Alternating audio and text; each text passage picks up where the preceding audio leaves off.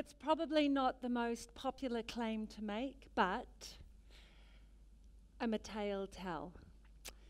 Yup, I was that kid. Mom! Luca bit Dolly's head off, and he found $10 in your handbag. Mom! Samantha wrote, I hate Selina on the dining table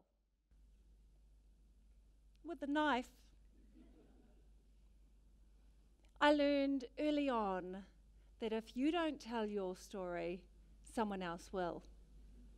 And I still am a tell teller, tale teller. Uh, my name is, after all, Selina Tusitala Marsh. And Tusitala is the Samoan word for tale teller, storyteller, or story writer.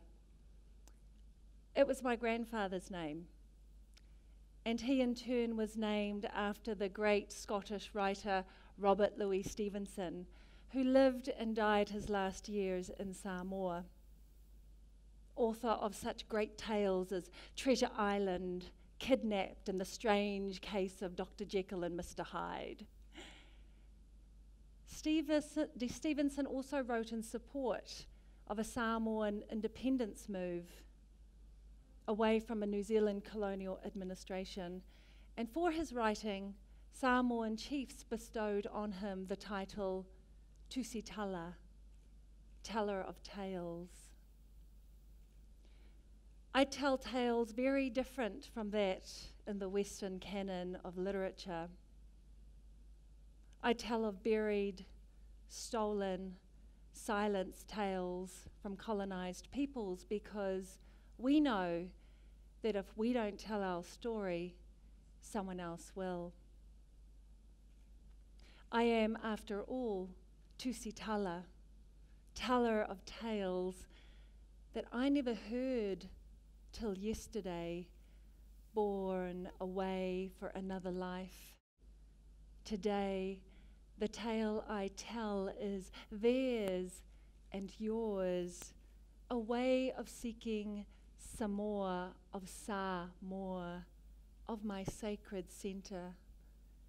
Today, the tale I tell will book its way through tongued histories, sanctioned mysteries, spaces of silence, timeless lives.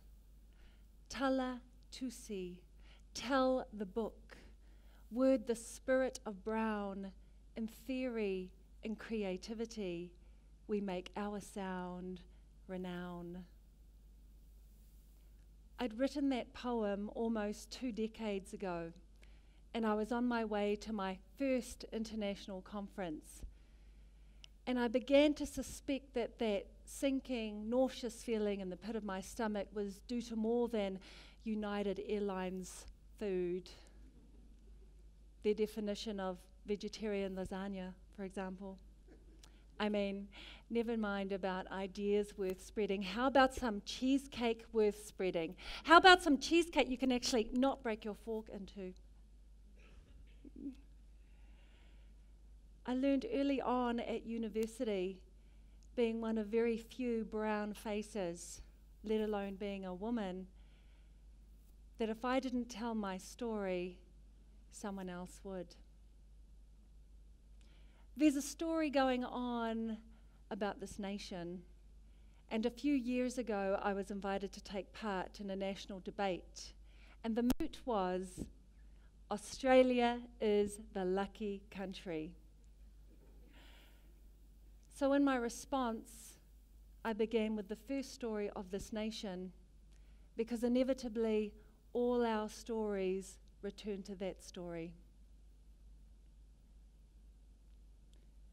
Zealand is the lucky country. Aotearoa, land of divine poetry, where Papatūānuku, and Rangi, lovers of land, sky, and sea, progenitors of Maori. Yes, New Zealand's a lucky country. Lucky the brothers were restless sons Lucky they warred when dark had won. Lucky they longed for the light of the sun and the warmth of the open air. Lucky Tane was the heart led son seeking bloodless revolution. Lucky he had the strength to stand and pry his parents apart.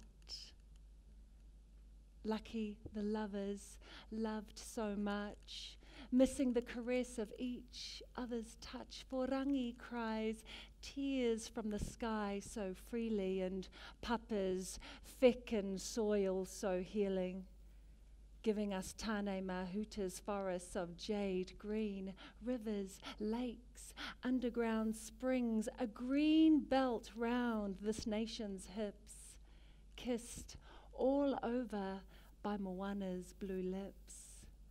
From Te Waipounamu to Te Ika a Maui, greenstone to fishtail, lucky, lucky country.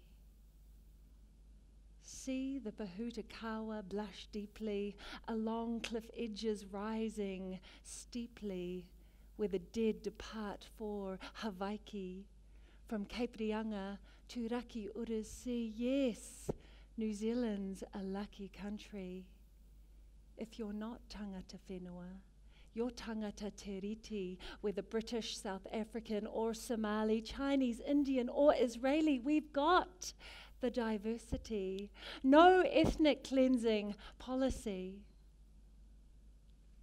Well, except for maybe 1833, that infected blanket strategy, Britain's manifest destiny taking land by any means necessary, platform for Maori fighting land wars, for shores, bastion, pointing the way to all blessed Te Tiriti o Waitangi, setting a fire in your belly against paternalistic tyranny.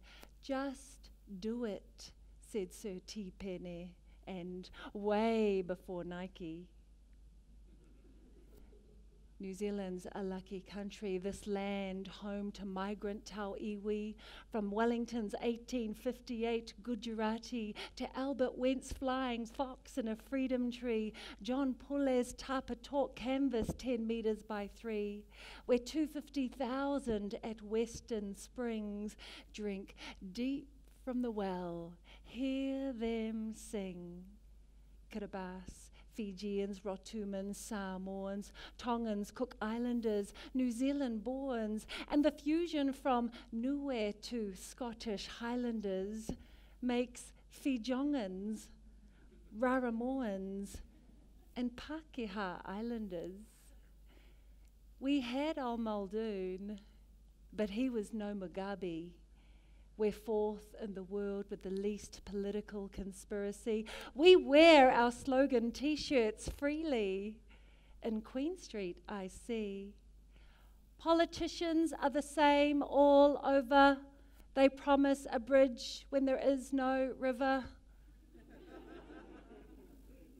and this one in Taupo, down by the lake. In New Zealand, anyone can be Prime Minister. It's a risk you take. New Zealand's a lucky country when our birthright civic duty lets you vote or not. It's free. There's no one purple finger vote, no machete held at your family's throat no AK 47 to persuade you at the polls, no standing in the dust waving the same flag as the presidential rolls. New Zealand's a lucky country where inconvenient geography, no landlocked topography, we're far but close enough to see our dairy economy makes the milk in this land of honey. Kiwi Shakespeare sharing farming families, gumboot brigading, black singlet parading, number eight wire mentality in enterprise and industry. It's Fred Dagg haggling in the city. And we've got water like no other. Wind turbines and solar power, and Antarctica. Terra Australis Incognita, our polar explorers, our global heroes. It's a land of opportunity, hard work meeting, synchronicity, where we can still think differently because we're Te Moana Nui a Kiwis, Kiwis. Tōtara Waka, parked next to chromed Humvee, Vespa next to Uncle's souped up taxi, where beaching beauty is for free. Rachel Hunter tip topping, Jandals flip flopping, bare feet lapping the sea under our holy ozone CV. Brotown cartooning our TV, eagle versus shark mentality. Jim Baxter's Jerusaleming it in Ponsonby, Sam Hunt, Stevie, bitter poetry. Katherine Mansfield's Devonshire scones over a cup of tea. Yes, New Zealand's a lucky country. We're a plucky country. Queen Street busking, husking for money, where you can still buy KFC and MDs next to pork bones, puha, and palusami, swirling Indian curries, Korean walking, no MSG. In Otara's free market of inclusivity. Yes, New Zealand's a lucky country. But like Sir Tipene and Sir Paul Reeves, we've got to horizon seek. Otherwise, it's good night, Kiwi. And everything we think is free lies hostage to a world economy. We need intergenerationality, eco sustainability for our fossil fuels and energy in the space of land, water, and sea. We need a bit of Sir Ed Hillary, who had the same fear of heights as you and me, but knocked the bastard off anyway.